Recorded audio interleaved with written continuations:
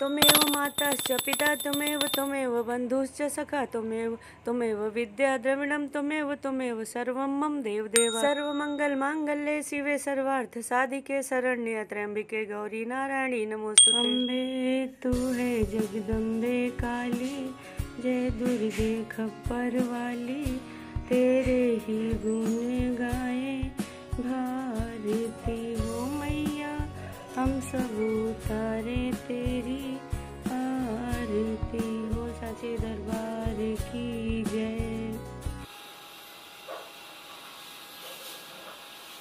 तो आज मैं शेयर करने वाली हूँ आपके साथ अपना डेली व्लॉग तो चलिए स्टार्ट करते हैं अपना daily vlog hello friends, good morning. कैसे हो आप सब लोग? प्लीज़ कमेंट्स करके ज़रूर बताना। आई होप आप सब बहुत अच्छे होंगे और मैं भी बहुत अच्छे से हूँ। तो फ्रेंड आज मैं स्टार्ट कर रही हूँ अपना डेली ब्लॉग आप लोगों के साथ। तो अभी बजे हैं सुबह के साथ आज हस्बैंड को ऑफ़िस भी नहीं जाना था, इसलिए मैं टोटली रिलैक्स थी, वरना जल्दी उठकर और पूजा पाठ करके उनका टिफ़िन बनाना होता है। वैसे मैं मोस्टली उठकर जो है ब्रश करने के बाद चाय ले लेती हूँ। तो अभी माता जी घर पर स्थापित हैं तो बिना सावर लिए और बिना पूजा पाठ किए मैं चाय नहीं पीती हूँ। तो उस तरह चाय तो मैं आज भी नहीं पीऊँगी। तो सबसे पहले अभी मैं क्या करूँगी, अपने घर को थोड़ा सा ठीक करूँगी, बिस्तर वगैरह और डस्टिंग वगैरह करनी है। फिर काफ़ी दिन से मशीन नहीं लगाई है, मैंने कपड़े नहीं धुले हैं और कपड़े काफ़ी इकट्ठा हो गए तो थोड़ी सी मैं लगाऊँगी मशीन, कपड़े चला दूँगी उस पर वो तो धुलते रहते हैं फिर। और उसके बाद मैं अपना सावर लेने के बाद माता रानी की पूजा करूँगी। और माता रानी की पूजा करने के बाद फिर मैं लूँगी चाय नाश्ता। और चाय नाश्ता लेने के बाद फिर मैं बनाऊँगी अपना दोपहर का लंच देखते हैं आज लंच में क्या बनाते हैं। हस्बैंड आज छुट्टी पर हैं और बेटी जो है वो अपने कॉलेज गई हुई है। तो अभी कुछ डिसाइड नहीं हुआ कि लंच में क्या बनना है बट जो भी बनाऊँगी वो मैं आपके साथ शेयर करूँगी। तो सबसे पहले स्टार्ट करूँगी मैं अपने बेडरूम के बेड की चादर चेंज करने से। तो पुरानी चादर मैंने हटा दी है, कई दिन की बिछी हुई थी और ये देखिए, हटाने के बाद आपको एक चादर और दिख रही है। तो जी हाँ मैं बेड पे अपने नीचे भी एक पुरानी चादर बिछा कर रखती हूँ ताकि जो गद्दे की डस्ट वगैरह है वो ऊपर वाली चादर को गंदा ना करे। तो ये मैंने कलर कॉम्बिनेसन लिया है आज चादर का। ये वाली चादर मैं बिछा रही हूँ और ये मुझे बहुत प्यारी लगती है। इस पर टेडी वगैरह बने हुए हैं तो बेटी वगैरह भी लेट जाती है इस पर तो मुझे अच्छा लगता है टेडी बिछाना और उसी के मैचिंग मैंने रेड कुशन कवर और पिलो लगाई हुई है और इस तरह हमारा बेड तैयार हो गया और बेडिंग के बाद दोस्तों बारी आई है अब लॉन्ड्री सेक्शन की। तो मशीन में सर्फ डालकर मैंने कपड़े डाल दिए थे तो एक बार के कपड़े जो है वो वाश हो गए हैं तो इधर राइंस में मैंने डाल दिए हैं। जहाँ पर अभी इन्हें मैं खंगालूँगी पानी से और उसके बाद ड्रायर मारूँगी, सुखाऊँगी। और ये लगा दिया मैंने बटन। और इधर वाले जिसमें कपड़े धुलते हैं, इसमें पानी थोड़ा सा मटमैला बचा था, बट सर्फ बहुत ज़्यादा थी, बहुत ज़्यादा हाथ से चुकर देखा तो मैंने उसमें डस्टिंग वाले कपड़े डाल दिए धुलने के लिए। और उसके बाद अब मैं आ गई हूँ डस्टिंग करने। तो अभी मैं बेड के पास की डस्टिंग करूँगी, बेड की डस्टिंग करूँगी। इसका कलर थोड़ा डार्क है ना हमारे बेड का तो उस पर डस्ट जो है बहुत ज़्यादा पता चलती है। और डस्टिंग तो वैसे भी रोज़ सारी चीज़ों की एक बार करनी ज़रूर चाहिए। गर्मी हो या जाड़ा हो डस्ट हमेशा बहुत ज़्यादा मौजूद रहती है घर में। और मेरे इस बेड पर बहुत ज़्यादा पता चलती है। तो अभी मैं पूरे घर में सारे सामानों की एक बार डस्टिंग करूँगी, सूखे कपड़े से, उसके बाद फिर मैं गीले कपड़े से डस्टिंग करती हूँ। और पूरे बेड को क्लीन करती हूँ मैं। सब चारों तरफ़ से पोछती हूँ एक एक चीज़ उसका, ताकि जो है, बिल्कुल भी डस्ट उस पर दिखाई ना दे। ये देखिए, नीचे अभी नहीं पोछा था तो आपको डस्ट दिख रही थी, जबकि रोज़ मैं साफ़ करती हूँ। और मेरे घर की एक साइड की डस्टिंग ख़त्म हो चुकी है, और डस्टिंग करते करते मैं वॉशिंग मशीन के पास भी आ गई। तो इसको भी मैं जब चलाती हूँ तो हल्का तो हाँ उसी लगे हाथ मैं इसको भी पास, साफ़ करती जाती हूँ, पोसती जाती हूँ और अब मैं आ गई हूँ अपने टीवी सेक्शन की तरफ़।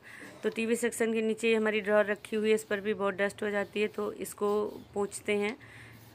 इसको भी मैं क्लीन करूँगी। ड्रॉर पर मैंने लाइट कलर का रनर बिछा रखा है, उसी के ऊपर सारा सामान रखा है, ताकि जो है ड्रॉर को रोज़ पोछना ना पड़े। ऊपर ऊपर से ही डस्टिंग कर लूँ मैं अगर जल्दी हो तो। ये गाय बछड़े के साथ जो है ना मेरी बेटी ने मुझे गिफ्ट की थी दीपावली में।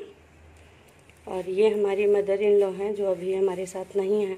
अभी जो हमारा ब्लॉग लगातार देखते हैं, उन्हें पता ही है कि वो हमारे साथ अभी अप्रैल में नहीं रहीं।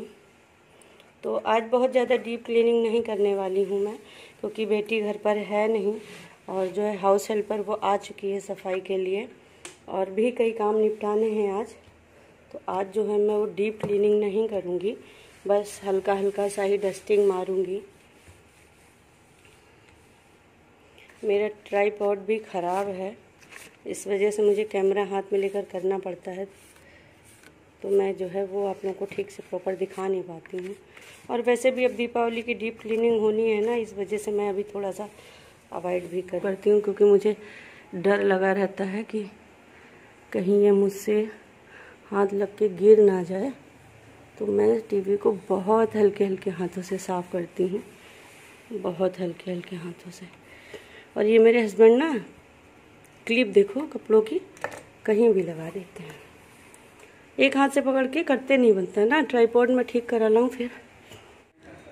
और पूरे घर के साथ साथ जो दीवान वगैरह पड़े हुए हैं, उनकी चादरों को भी जिनको चेंज करनी है, उनको मैं चेंज कर देती हूँ, जिनको चेंज नहीं करनी है, उनको उठाकर मैं झाड़ती ज़रूर हूँ और झाड़ने के बाद मैं उनकी बेडिंग प्रॉपर कर देती हूँ और फिर सारे दीवान वगैरह को मैं इस तरह पोसती हूँ प्रॉपरली आप समझ लो बड़े बड़े जो भी आइटम हैं, उनको मैं इस तरह से एक बार सूखे कपड़े से ज़रूर पोछती हूँ। और अब मैं आ गई हूँ अपने वाश बेसिन के ग्लास को साफ़ करने। वाश बेसिन के ग्लास पे ना पानी की छीटें पड़ जाती हैं मॉर्निंग में जब लोग ब्रश वगैरह करते हैं, इसलिए उसको भी प्रॉपर पोछना बहुत ज़्यादा ज़रूरी होता है। और अब एक झलक मेरे घर के हरे भरे पौधों से मिली हमारे प्लांट्स से। अभी तक आप लोगों ने हमारे प्लांट्स नहीं देखे हैं, उनसे नहीं मिलवाया किसी ब्लॉग में मिलवाऊँगी ज़रूर आप लोगों को। और फ्रेंड यहाँ पर ये देखिए, मैंने ड्रायर हो जाने के बाद कपड़ों को फैला दिया है। स्टैंड पीछे रखा है, आप देख सकते हो, लेकिन स्टैंड पर नहीं फैलाए हैं क्योंकि अभी और कपड़े बहुत सारे धुलने वाले हैं। तो फ़िलहाल ये बड़े बड़े कपड़े थे, इन्हें मैंने यहाँ जो आँगन में डोरिया बाँध रखी है, उन पर फैला दिया है। बाकी कपड़े स्टैंड पर फैला दूँगी। और कपड़ों के बाद बारी आई है अब प्लांट्स की। प्लांट्स को मैं ऊपर ऊपर से थोड़ा सा ज़रूर रोज़ नहला देती हूँ, हल्का सा पानी छिड़क देती हूँ। तीसरे चौथे मैं प्रॉपर इनको जो है सावर देती हूँ पाइप लगाकर बट ऐसे में इनको हल्के हल्के से हाथों से नहला देती हूँ, ताकि इनके ऊपर की जो डस्ट वगैरह है वो निकल जाए और फिर पानी दे देती हूँ प्लांट्स को। इनको रोज़ पानी की बहुत ज़्यादा ज़रूरत होती है। मेरी मिट्टी में वैसे भी थोड़ा सा बालू मिली हुई है, इसलिए और ज़्यादा जल्दी सूख जाते हैं और नहा धोकर पौधे खिल जाते हैं एकदम। तो मेरा क्लीनिंग और डस्टिंग का काम ख़त्म हो गया और मेरी मेड आ गई है। अब जो है फ्लोर साफ़ कर देगी और मैं शावर लेने के लिए चली जाऊँगी। बहुत लेट हो रहा है। हेलो फ्रेंड तो आ गई हूँ मैं शावर लेकर और ये देखिए आज मैंने ये डाली है कुर्ती। सावर लेने के बाद सबसे पहले मैंने अपनी माता रानी की पूजा की और रोज़ सप्तती के अध्याय का पाठ करती हूँ और उसके बाद मैं आ गई हूँ हल्का सा तैयार होने के लिए। अब अपने फेस पे हल्का सा अप्लाई करूँगी। बिल्कुल ज़रा सा इसको लूँगी मैं। बिल्कुल ज़रा सा।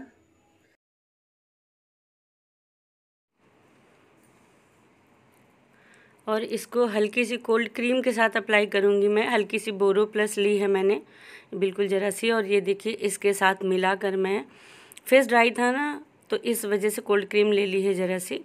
और उसमें मिलाकर मैं हल्का सा अपने फेस पर इसको अप्लाई करूँगी। वैसे मैं नॉर्मल मेकअप में घर में फाउंडेशन वगैरह नहीं लगाती हूँ, कहीं बाहर जाती हूँ तभी लगाती हूँ बट आज ज़रा सा मन किया तो मैं लगा ले रही हूँ। और अब इसके बाद मैं अप्लाई करूँगी ये लिपस्टिक ये ब्रश वाली लिपस्टिक है और ये बहुत स्मूथ चलती है, बहुत बढ़िया ब्रश है इसका लगाने में। हल्का सा पिंक कलर है पिंक प्याजी सब मिक्स कलर है, मुझे बहुत अच्छा लगता है तो अब मैं इसे अपने लिप्स पर हल्की अप्लाई करूँगी।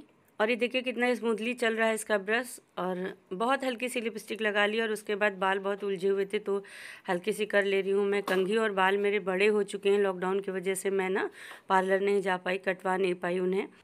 और अब कंघी के बाद मैं लगा रही हूँ अपनी मांग में सिंदूर और हर सुहागिन स्त्री को स्नान के बाद सिंदूर ज़रूर लगाना चाहिए। और अब मैं आ गई हूँ अपने किचन में। और मैंने चढ़ा दी है अदरक वाली चाय। खूब ढेर सारी अदरक डाली है मैंने चाय में और काली मिर्च भी डाली और खाल आ चुकी है चाय में और उधर मैंने अपने लिए बिस्किट और दाल मोट निकाल लिए हैं। थोड़ा सा नाश्ता करूँगी।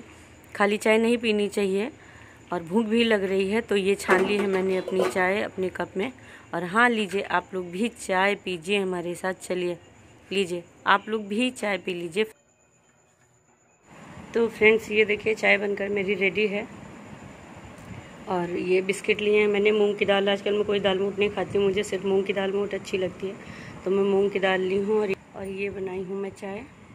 ये मच्छी है, नमक पानी, ये सब अभी भगवान का भोग लग कर आया वो प्लेट जो कि वो रखी हुई तो चलिए अब भी हमारे साथ चाय पीजिए। चाय नाश्ता हो जाने के बाद अब मैंने कर ली है लंच की तैयारी। मुझे लंच बनाना है तो इसके लिए ये देखिए मैंने सब्ज़ियाँ काट के रख लिया है। आज मैं आलू बैंगन की सब्ज़ी बनाने वाली हूँ। ये आलू बैंगन सब्ज़ी और ये टमाटर काट लिए। हरी मिर्च काट ली प्याज काट लिया और दाल को पहले से सोख करके रख दिया था। आज जो है तुअर दाल बनने वाली है पीली दाल जिसे बोलते हैं अरहर की दाल और ये चावल ये सब मैंने सोख करके रख दिया था और तैयारियाँ मतलब हो गई थी और आटे का डो भी जो है वो मैंने लगा कर रख दिया चलिए स्टार्ट करते हैं लंच प्रिपेयर करना। दाल चढ़ा दी है धुल कर और अब मैं इसमें हल्दी पाउडर डालूँगी। आज मैं सिंपल दाल बनाने वाली हूँ। बिना मसाले के बिल्कुल हल्की से हल्दी डालूँगी। और हल्का सा बिल्कुल ज़रा सा रेड चिली पाउडर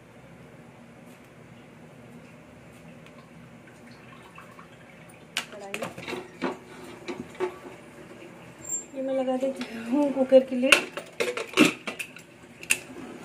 चलिए, दाल का सारा कुछ पड़ चुका है। अब इसमें सीटी लगेगी और तब तक मैं जो है अपनी सब्ज़ी बना लेती हूँ। सब्ज़ी मैं कढ़ाई में ही बनाने वाली हूँ आज।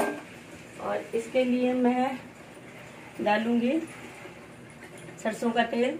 जब तक हमारा तेल होता है फ्रेंड तब तक मैंने कर लिया बघार की तैयारी। एक रेड चिली ले ली है मैंने और ये मेथी के दाने ले लिए हैं थोड़े से। और ये ले ली है मैंने थोड़ी सी हींग क्योंकि बैंगन की सब्ज़ी हो। और हींग ना हो तो फ़ायदा नहीं करती है। तो फ़ायदेमंद भी बहुत है बैंगन के साथ। मतलब बादी वाली जो चीज़ें हैं, उनके साथ फ़ायदा करती तो ये ले ली है मैंने। हींग ये देखिए। तो ये मैंने तड़के के लिए ले लिया है। और हमारा जो है तेल जो है वो गर्म हो चुका है, इसमें से आँच जो है वो आने लगी है। तो सबसे पहले मैं लगा दूँगी ये तड़का। ये तड़का लगाने के बाद ये रेड ये ग्रीन चिली जो मैंने, तड़का लगाने के बाद ये जो ग्रीन चिली मैंने काट कर रखी थी, मैं उन्हें ऐड कर दूँगी। और इनको ऐड करने के बाद, और पहले सबसे पहले मैं फ्लेम को जो है वो स्टीम कर दूँगी। और उसके बाद मैं इसमें प्याज मेंशन कर दूँगी। पानी रहता है, इधर हो रही है कुकर पर दाल, और ये मैंने तड़का लगा दिया है, सब्ज़ी का बघार लगा दी है, और हल्का सा प्याज होती है। अब मैं फ्लेम को हल्का सा जो है वो तेज कर लू, कर लेती हूँ। और जैसे ही हमारा ये प्याज होता है ना, वैसे ही मैं इसमें हल्का सा मसाले लगाकर, और ये चावल अभी हमारा सोख हो रहा है। चावल जितनी देर सोख हो ना, उतना बढ़िया रहता है। ये देखिए, हमारा बघार जो है वो हल्का सा हो चला है। प्याज जो है हमारा वो गोल्डन ब्राउन हो चला है। तो अब मैं इसमें ऐड कर दूँगी ये। ये देखिए, ये वाले मसाले मैं ऐड करती हूँ। ये अशोक का सब्ज़ी मसाला है और इस मसाले का टेस्ट जो है वो मुझे बहुत अच्छा लगता है। तो एक्स्ट्रा कोई भी मसाला आज मैं ऐड नहीं करने वाली हूँ क्योंकि आज मैं बहुत सिंपल खाना बना रही हूँ बिना बहुत ज़्यादा मसालों के। तो सिर्फ़ ये दो पाउच जो है वो मैंने ऐड किए हैं। ये देखिए, और अब मैं इसमें आलू डाल दूँगी।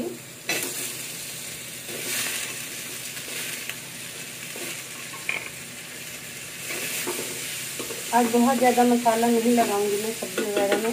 तो सबसे पहले तो आलू को थोड़ी देर फ्राई कर लेते हैं। आलू जितना अच्छे से फ्राई होंगे ना, सब्ज़ी उतनी अच्छी बनती है। और साथ में ही मैं ना अपने नमक ऐड कर दूँगी स्वाद अनुसार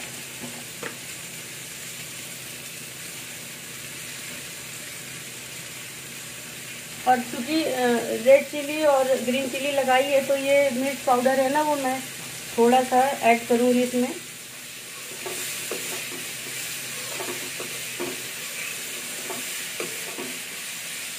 हल्का सा फ्राई आलू जो है, वो तेल छोड़ दें। और अगर आप कलर लाना चाहते हैं ना तो मैं बाद में भी छोड़ देती हूँ। बाद में भी कलर पकड़ लेता है तो हल्का सा छोड़ दे रही हूँ मैं।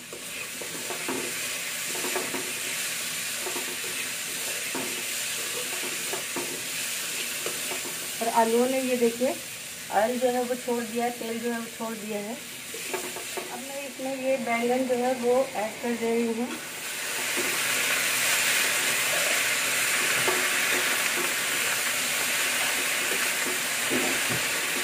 साथ में ही मैं ये दो टमाटर काट के रखी थी। तीन टमाटर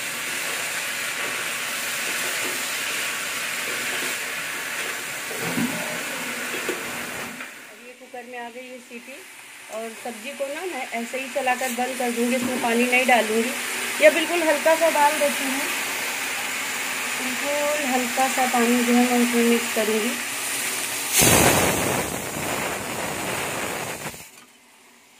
और अब मैं इसको एज इट इज़ पकने के लिए बंद कर दूँगी। सब्ज़ी को और सीटी आ चुकी है कुकर में। और जब तक जो है सब्ज़ी तैयार होती है मेरी ना, तब तक मैं कुछ और काम कर लेती हूँ। अभी कुछ मशीन से कपड़े जो थे वो और फैलाने थे तो मैं वो कर लेती हूँ। तब तक दाल हमारी बनकर तैयार हो गई है, सब्ज़ी भी बन चुकी है और ये कुकर में चढ़ा दिया है। ये देखिए, ये कुकर में चावल चढ़ा दिया है मैंने तो इस तरफ़ चावल हो रहा है और तब तक चलिए मैं रोटियाँ सेक लेती हूँ।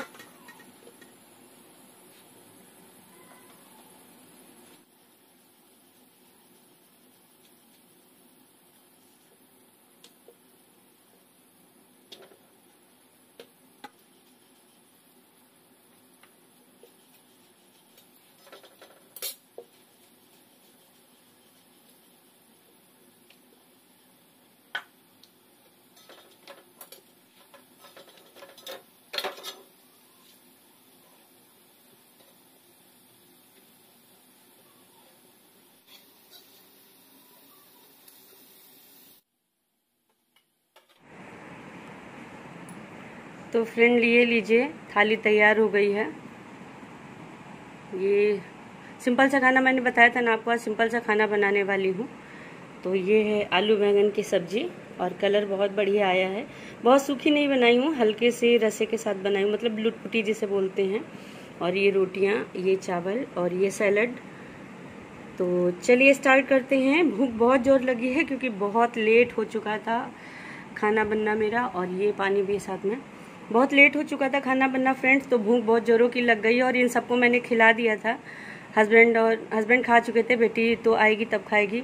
और जब मैंने अपनी थाली लगाई तो मैंने सोचा क्यों ना आपको भी इनवाइट करूँ। तो चलिए, आप भी मेरे साथ खाना खा लीजिए। लीजिए फ्रेंड आप सब लोग भी खाना खाइए मेरे साथ। आइए और खाने का टेस्ट लीजिए और बताइएगा मेरा सिंपल सा खाना आपको कैसा लगा। फ्रेंड्स ये था मेरा आज का डेली ब्लॉग जो कि मॉर्निंग से लेकर मैंने दोपहर के लंच तक का रूटीन आपके साथ शेयर किया। तो कैसा लगा है आपको ब्लॉग तो प्लीज़ कमेंट करके ज़रूर बताइएगा मुझे। तो जो मेरे चैनल पर नए आए हैं वो प्लीज़ मेरे चैनल को कर ले सब्सक्राइब ताकि आने वाली हर न्यू वीडियो की नोटिफिकेशन आप तक पहुँचती रहे। सब्सक्राइब करना ना भूलें लाइक करना ना भूलें और कमेंट्स करना बिल्कुल भी मत भूलें। तो चलिए मिलते हैं फ्रेंड्स और एक अगले इंटरेस्टिंग ब्लॉग के साथ और तब तक के लिए बाय बाय अरे वाह सही पकड़े गीता जी। दिखाओ दिखाओ जल्दी दिखाओ। तो ये देखिए फ्रेंड मैंने बहुत लाइट सा मेकअप किया है बिल्कुल भी मेकअप नहीं किया और बहुत ड्राई हो रहा था फेस ना। तो इसलिए मैंने नाइन टू फाइव का जो फाउंडेशन है वो मैंने हल्का सा बोरो प्लस क्रीम में जो है वो लगा कर लगाया है और बहुत नेचुरल सी हल्की सी लिपस्टिक लगाई है। बिल्कुल हल्की सी करने में मैं प्रॉपरली मेकअप नहीं करती हूँ सिंपल ही रहती हूँ बट आज हल्का सा मन किया था सो लगा ली तो चलिए अब पीते हैं चाय सबसे पहले उसके बाद बनाते हैं लंच और मॉर्निंग का मेरा सारा काम जो है वो निपट चुका है। अब मैं स्कूल से चाय पीऊँगा उसके बाद सीधे सीधे सही पकड़े हैं।